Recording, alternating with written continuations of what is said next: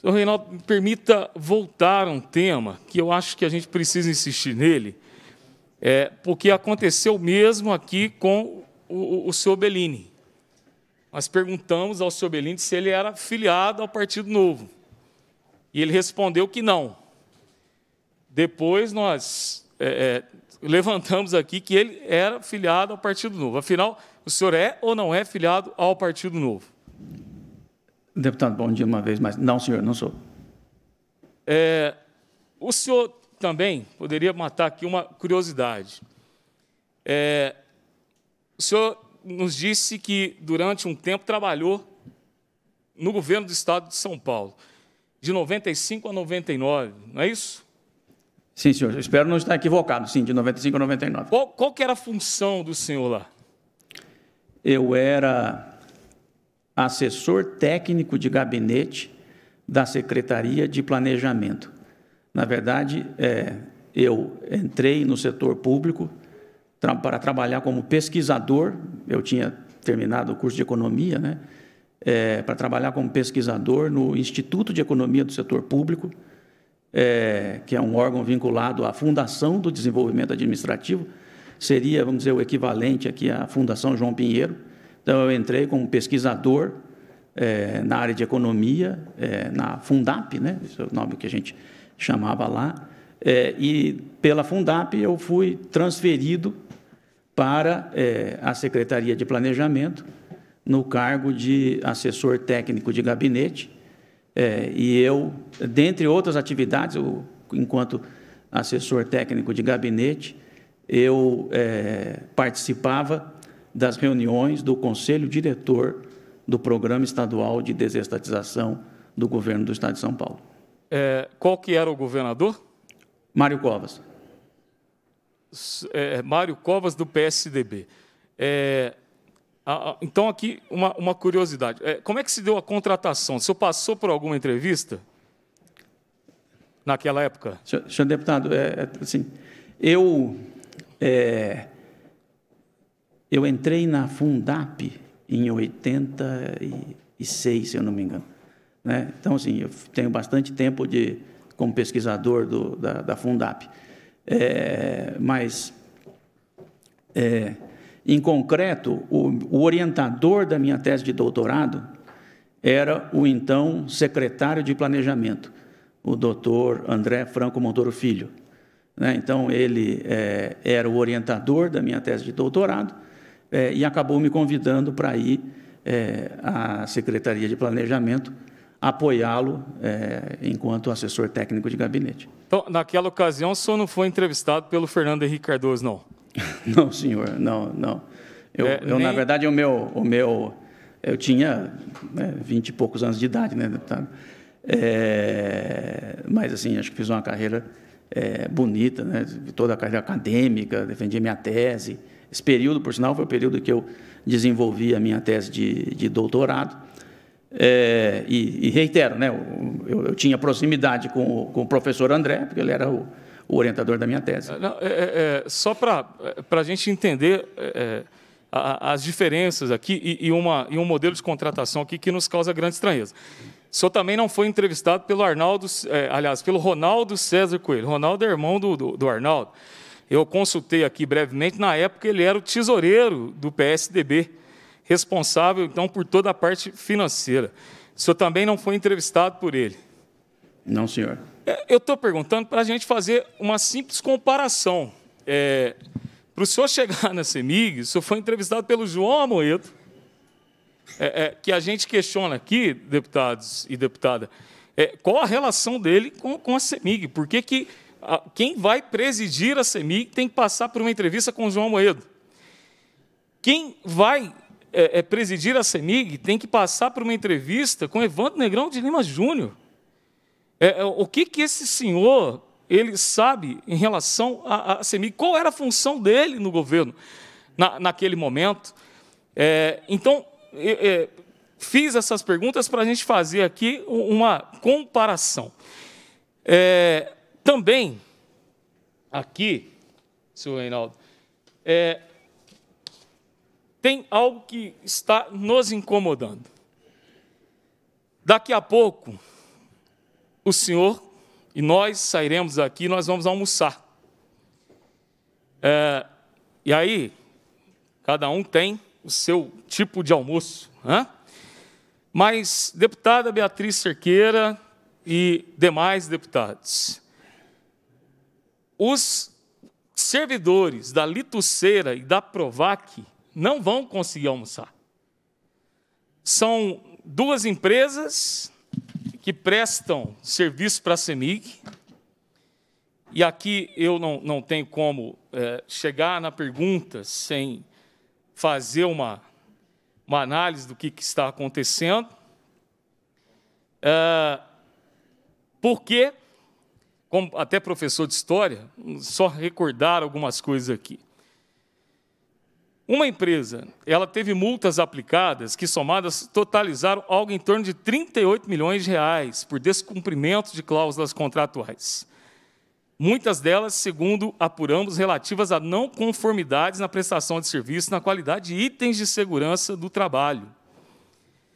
Essa empresa, primeira empresa, ela é responsável pela subcontratação da Conorte, que vitimou no acidente três vidas. Além da multa de 38 milhões, essa empresa também teria um passivo trabalhista que é assustador.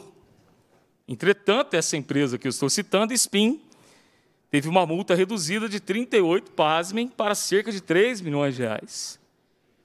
A Provac, então, decide pela compra dessa empresa que teve a multa reduzida.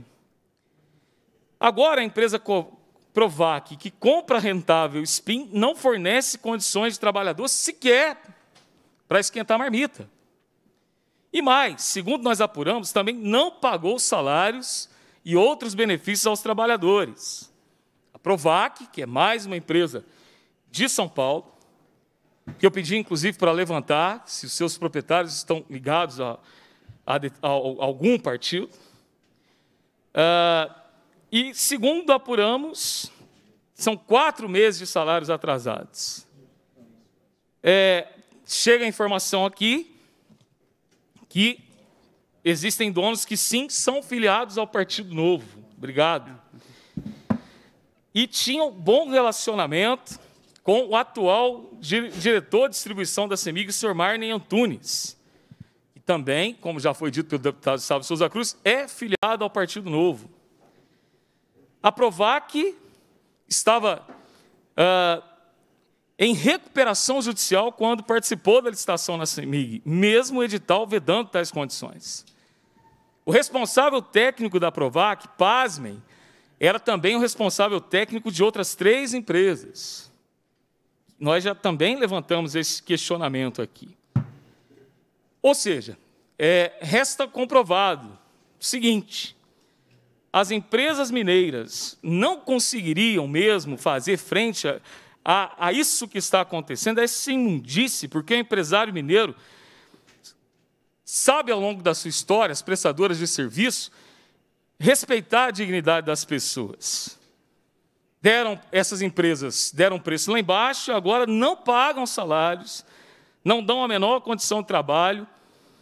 E a pergunta que eu faço, presidente, é: não é necessário fiscalizar essas empresas antes de se falar até na questão da execução do maior investimento de sua história? A situação é tão grave que essas empresas não estão dando condições para que os seus empregados, deputado Beatriz Cerqueira, consigam esquentar a marmita. Isso é uma forma de trabalho análogo à escravidão, de trabalho degradante. É, a pergunta, senhor presidente, o senhor tem informações acerca disso e quais são as providências que estão sendo tomadas?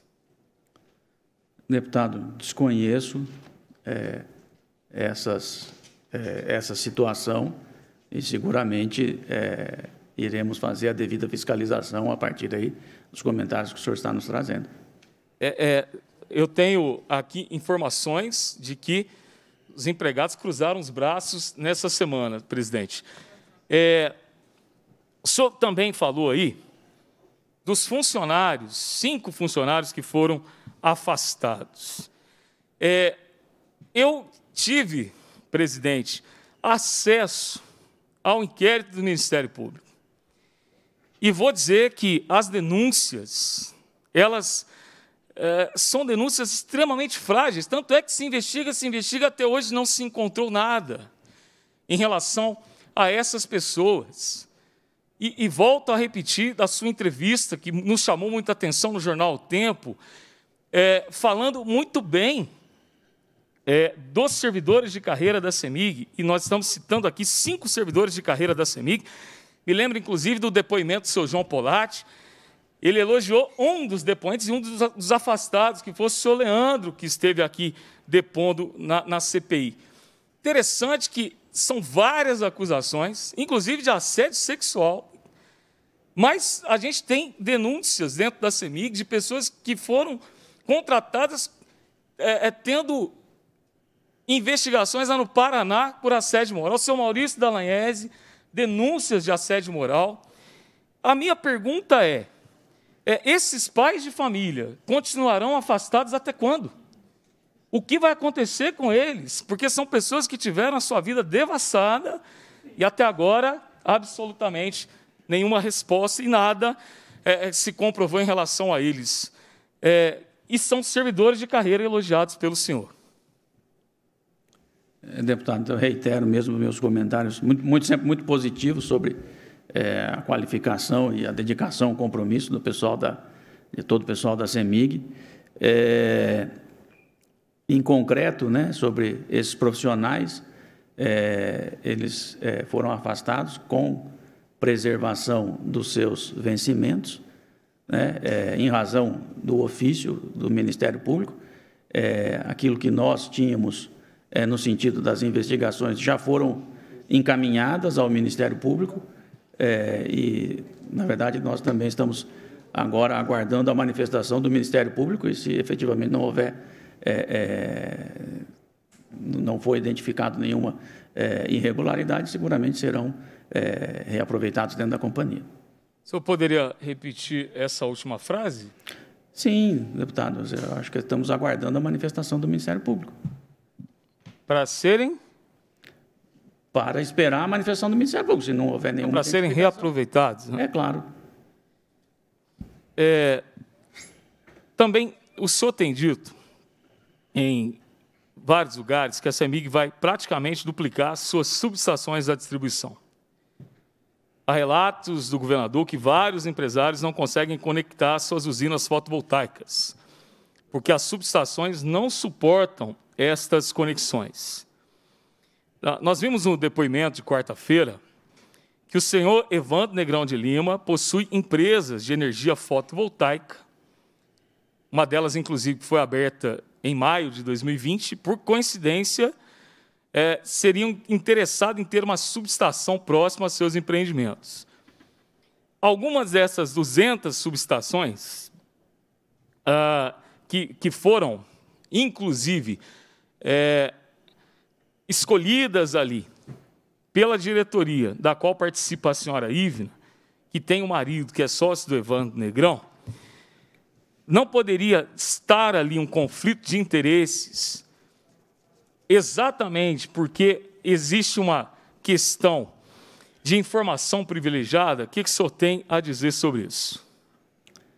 Deputado, é, eu tenho a dizer que é, esse programa é um programa, é, de fato, muito ambicioso, né? De, é, na distribuição, investir 12,5 bilhões de reais nos próximos cinco anos é, e os critérios para a escolha do local das subestações são critérios técnicos é, realizados pelo corpo de funcionários é, da CEMIG, sem, de fato, uma participação é, direta da diretoria. Ao contrário, né? quem, quem faz toda a análise técnica é a área de planejamento e, ao final, entende os pontos críticos é, para efetivamente termos mais subestação, mais qualidade no fornecimento de energia e poder é, contribuir para o desenvolvimento de Minas. Né, a gente tem uma situação é, de fato de que ficamos com investimentos abaixo da depreciação. Então, essa é a razão pela qual agora a gente está buscando acelerar, a, dentre outros, a, construção de novas subestações. O senhor não, não respondeu a questão do conflito de interesse, tendo uma pessoa responsável por essa escolha, cujo marido é proprietário de uma empresa é, diretamente interessada nesse aspecto.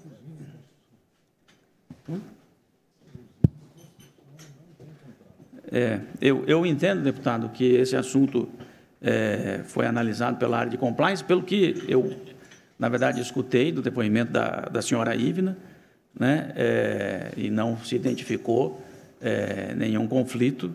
Mas mais do que isso, né, eu reitero que esse assunto é um assunto que envolve toda a companhia, ou seja, tem uma quantidade muito grande de pessoas para fazer essa seleção.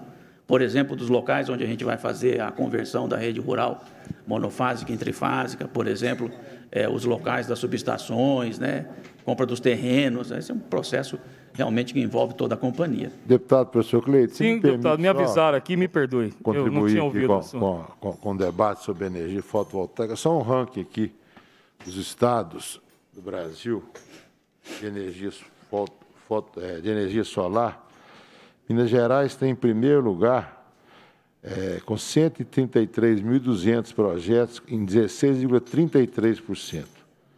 São Paulo, né, conseguimos ultrapassar São Paulo com 131.773 projetos, com 16,15%. Em terceiro lugar, o Rio Grande do Sul, com 13,43% dos projetos de energia voltaica. Em quarto, Mato Grosso do Sul, com 44 é, 1.334 projetos, com 5,43. Aí vem todos os estados.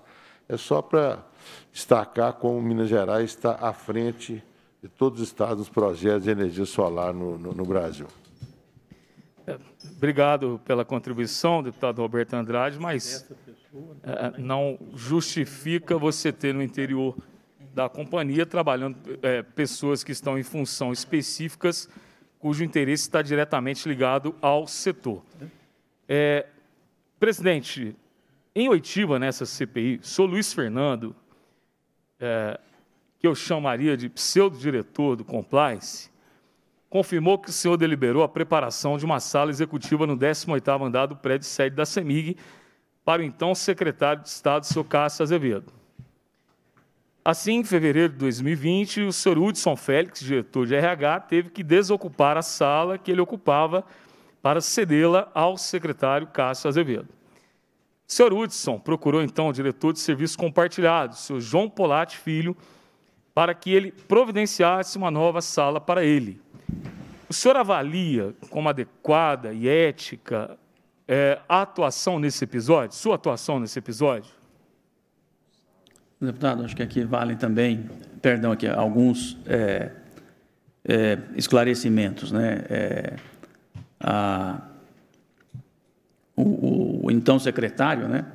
É, Cássio Azevedo, secretário de Desenvolvimento Econômico, é, me procurou, como é de conhecimento de todos, né? Ele estava passando por um período crítico na sua vida, né? Uma doença terminal que afinal acabou o levando.